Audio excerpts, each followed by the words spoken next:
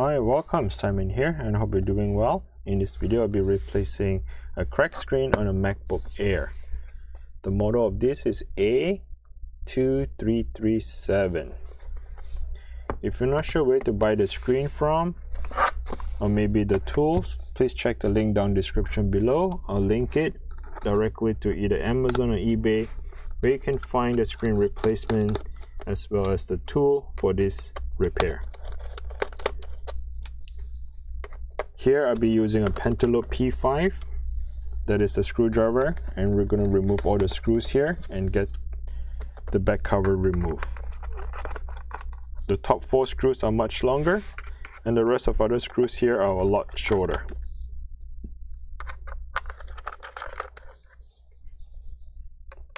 Make sure you do not mix match the screws because all the screws are not the same size. So you want to make a reference to yourself when you remove them later on. You know where the screw belongs to when you put them back together.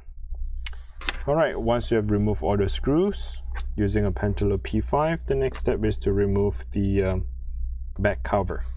To remove the back cover is very easy. You just simply get in between this plus uh, this cover here and then just kind of pop it up and just lift up the entire back cover. Alright, at this point here, you're to see the entire internal part of the computer. Let me zoom in a little bit and I want to show it to you how to disconnect the battery. So technically the battery is still intact. And for the safety reason, the best thing is to disconnect the battery.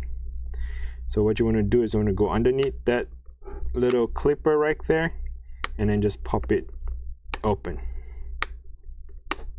okay once you pop that little clipper open now you can remove the connector by simply just leave it straight up. Once the battery is disconnect let's go ahead and get yourself a T3 this is a Torx T3 screwdriver. You're going to remove this tiny little screw. And that screw is holding down the bracket which is holding down the Wi-Fi connector. Once I've removed the screw and the bracket go ahead and disconnect the Wi-Fi connector by simply lifting it straight up. Alright next step I'll be using a T5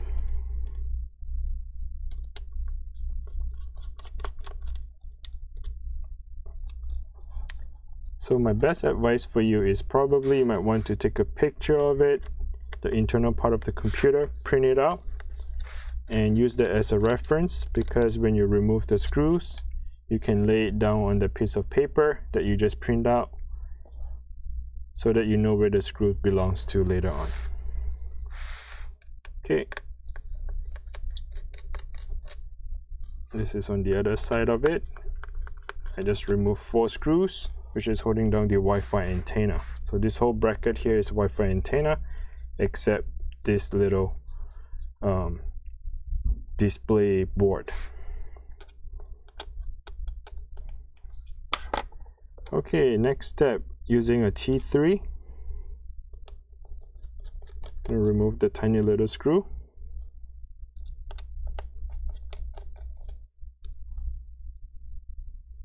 remove the bracket. And here you want to use a plastic prying tool to go underneath the flex cable and kind of lift it up to pop it open. They are just like lego so you kind of need to get in between the connector and just lift it straight up okay once you have done with that process go ahead and uh, see. I'm using a T5 here. I'm gonna remove this black screw. Okay once I've removed the two screws now you can see that the LCD display board became loose. Okay. Now go ahead and remove the Wi-Fi antenna making sure that the uh, flex cable here is not caught in a way because we're going to pop this thing up remove this Wi-Fi antenna.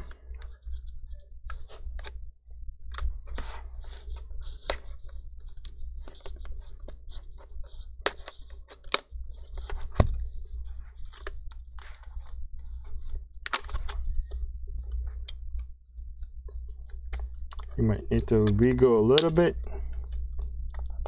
Right here in the middle is where the uh, clipper is still clipping onto. You see that little piece of the metal running across? And that piece right there is kind of clip onto the bracket on this side of it. Okay just need to little wiggle a little until you lift it straight up. So this Wi-Fi antenna will just get removed put it on the side I'll be using a T8 screwdriver Torx T8 I'm going to remove the three screws here. One two three.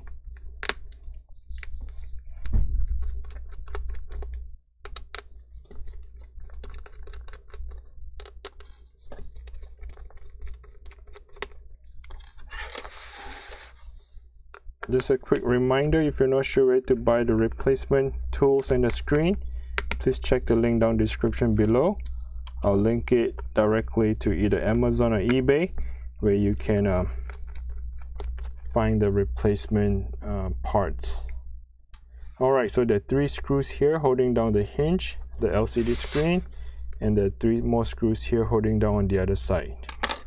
At this point here, you can go ahead and open up the computer. So I'm going to open up the screen. Okay, push it all the way to the back and then you can just lift it straight up. Lift that, lift that hinge up, okay? Lift it up and then the whole screen will just detach from the computer. All right, so that is the old screen. I have a new screen here. It comes with the entire PCB board all right and what you want to do is you want to push that hinge all the way to the back on both sides. And what you want to do is making sure the uh, the board here is going to go on top of the computer okay?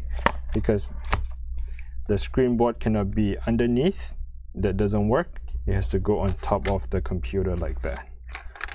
Okay while this thing is sitting on top what you want to do is making sure that the hinge going to slide into the computer. So I'm going to hold up the computer and the hinge and I'm going to slide it in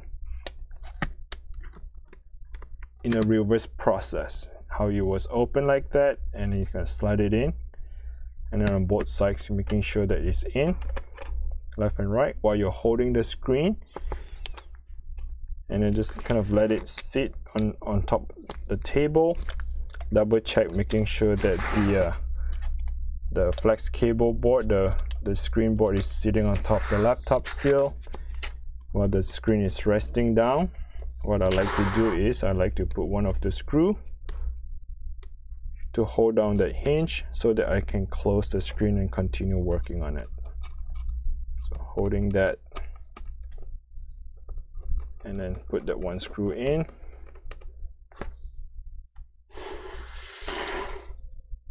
same thing on the other side of the screen.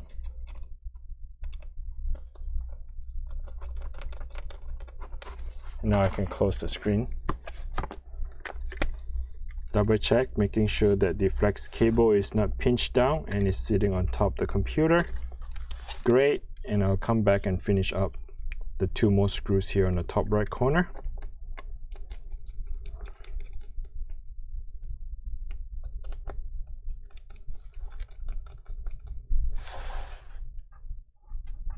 okay this is the top left.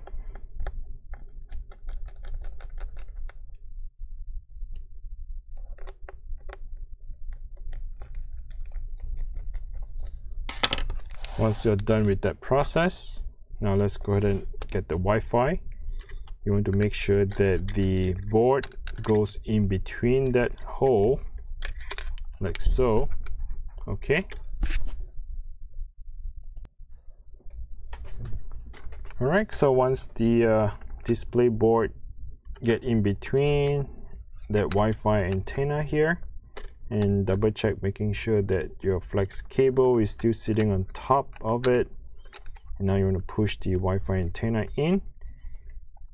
Try to connect it back together. I know it's difficult sometimes but that metal piece in the middle should just kind of go in the computer like that.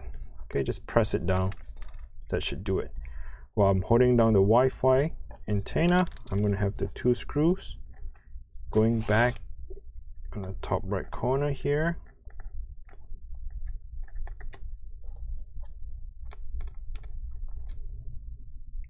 Using my T5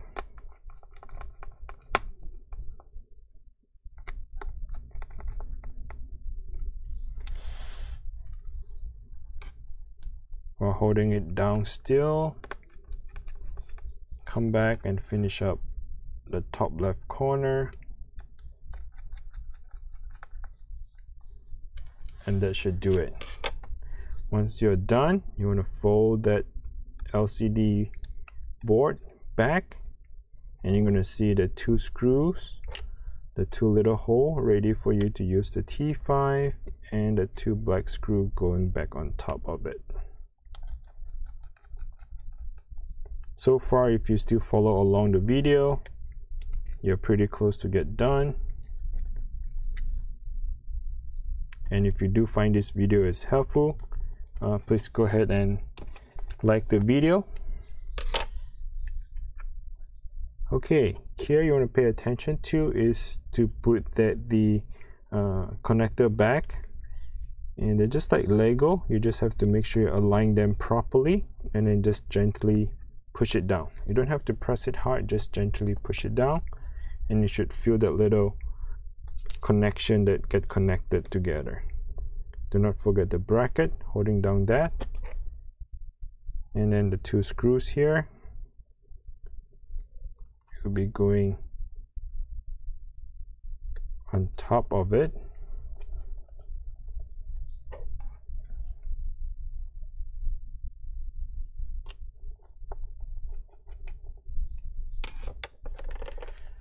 all right. Now let's go ahead and get the uh, Wi-Fi cable connector insert back. You want to pay a close attention to this process. Do not rush yourself and do not press it hard. So the two circles the connector just going to sit on top of each other like that. And all you have to do is just to align them properly do not push it real hard okay?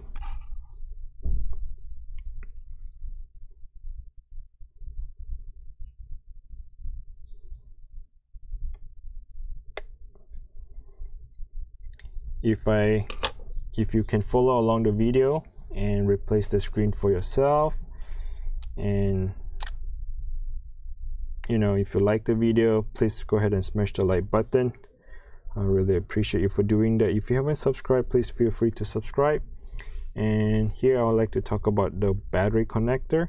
So making sure that the clipper is open all right? Is facing up is open. Now you want to close it down.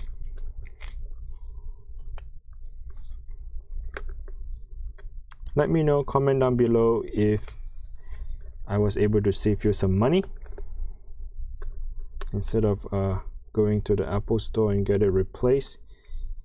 And if you can follow along and, and get your screen replaced here uh, just comment down below.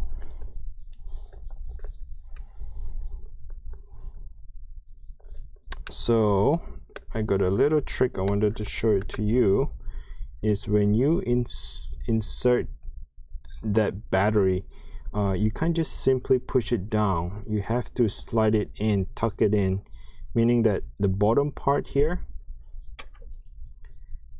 the bottom part okay the back part here would have to slide into the gap then you can close it. So just like that slide it in okay slide it in. So tuck it in at 45 degree to slide it in close it down push it down and then use that metal clipper to lock it in for some reason this clipper is just annoying. Okay push it all the way in. It locks it and the battery holds the connector holds it right there. Okay next part the bracket the back plate put it back together.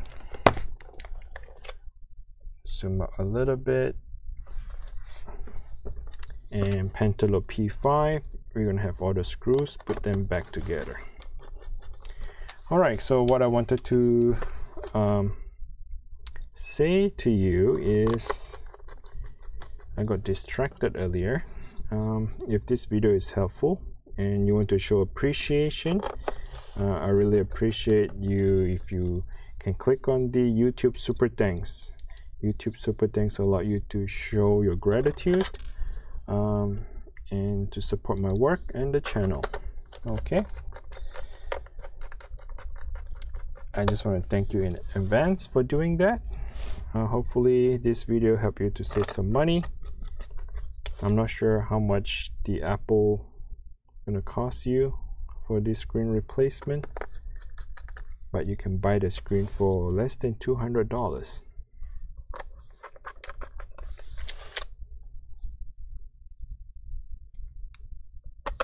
I will turn on the computer and show it to you how the screen quality looks like but not in very detail because uh, there would be a personal data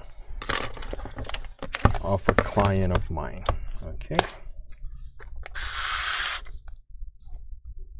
So again um, if the computer doesn't turn on do not get panic and more likely it's because um, we disconnect the battery and once you disconnect the battery long enough the computer wouldn't recognize it. It may take some time to turn it back on. And the easiest way for you to turn it on a lot faster quicker is to um, plug in your adapter the power cord okay? Mm, come on. I have faith in you that you will turn on because I do not want to bring the adapter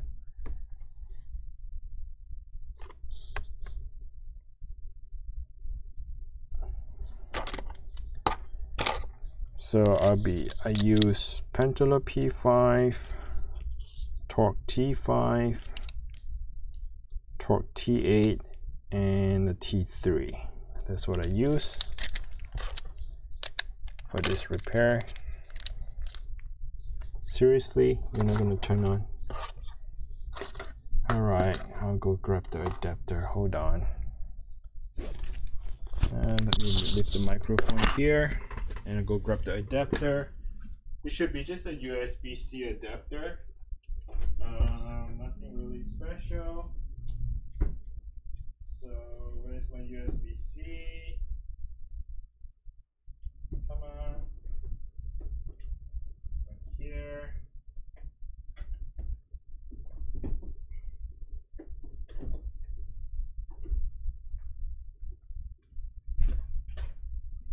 Okay. Here's the USB-C adapter. And just plug it in. And that should turn on the computer.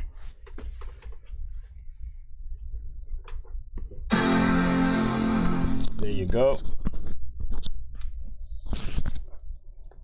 And the screen looks pretty good.